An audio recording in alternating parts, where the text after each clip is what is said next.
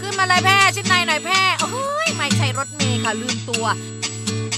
นี่คือรถรางไฟฟ้าพาชมอุทยานประวัติศาสตร์กำแพงเพชร ที่จังหวัดกำแพงเพชรแห่งนี้นี่เอง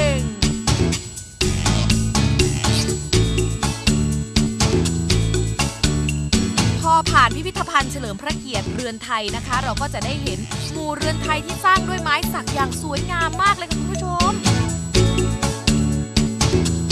กลางเมืองมีวัดพระแก้วและวัดพระธาตุเป็นศูนย์กลางค่ะ และนี่ก็คือพิพิธภัณฑสถานแห่งชาติจังหวัดกำแพงเพชรเป็นสถานที่จัดแสดงโบราณวัตถุและศิลปะวัตถุสมัยต่างๆโอ้ยต้องไปก่อนละค่ะ อยู่นานไม่ได้ เดี๋ยวจะถูกนำไปจัดแสดงด้วยอะค่ะว้ายอายุเยอะ